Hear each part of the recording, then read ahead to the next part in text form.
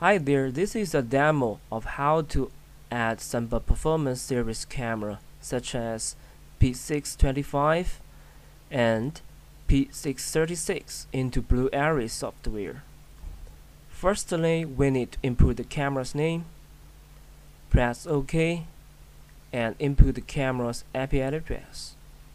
If you do not know your camera's IP address, you can use the guard tool to search out the camera's IP. And this software could be downloaded on the Sunba website. Because I have modified HTTP port, so I need input the HTTP port as 8585 here. If you don't have modified HTTP port, you can keep it in default 80. Note, performance cameras HTTP port is the same as its ONVIF port. You need to double check the ONVIF port, make sure it is the right one. Okay, input the camera's password. Keep the make box as default, the generic ONVIF protocol. Then press the fan button.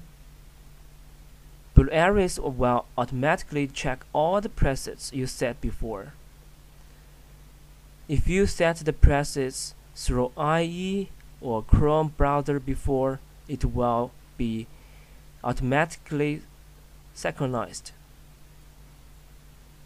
After the check step, click Close, and everything keep in default, and press OK.